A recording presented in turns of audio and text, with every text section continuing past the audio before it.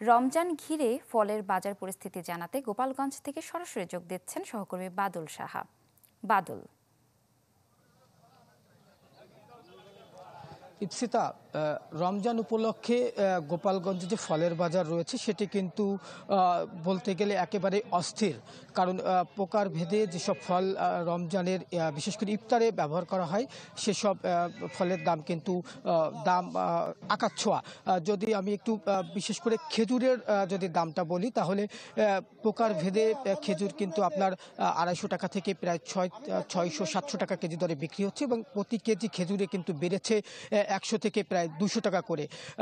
তরমুজের বাজারও কিন্তু একেবারেই অস্থির।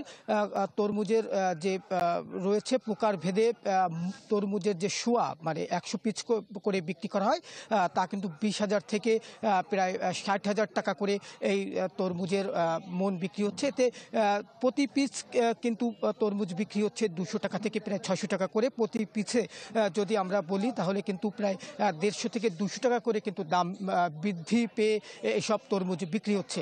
আর এছাড়া যে অন্যান্য যে ফল রয়েছে আঙ্গুর যেটি, সেটি আপনার ক্রয় সীমার মধ্যে রয়েছে, ওটি বিক্রি হচ্ছে দুশো টাকা করে কেজি বিক্রি হচ্ছে।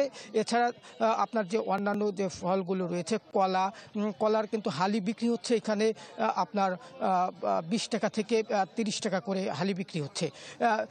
আমি এই যে ফলের যে দাম এই এই দামটি যাতে নিয়ন্ত্রণে থাকে, এই বিষয়ে আমি ভুক্ত অধিকারের সাথে কথা বলেছি। তার সহকারী পরিচালক শামীম হাসান জানিয়েছেন যে দাম নিয়ন্ত্রণে রাখার জন্য বিভিন্ন স্থানে অভিযান পরিচালনা করা হচ্ছে এবং জরিমানাও করা হচ্ছে। সব কিছু মিলিয়ে রোজার বাজারে গোপালগঞ্জের ফলের বাজার পুরোপুরি অস্থির এটা বলা যায়। ইপসিতা এই ছিল আমার কাছে রমজানে গোপালগঞ্জের ফলের বাজারের পরিস্থিতি। সর্বশেষ ধন্যবাদ আপনাকে। দর্শক গোপালগঞ্জ থেকে আমাদের সাথে যুক্ত ছিলেন আমাদের সহকর্মী। এক মিনিটে নগদ ইসলামিক অ্যাকাউন্ট খুলতে ডায়াল করুন চার ওয়ান সিক্স সেভেন হ্যাশ।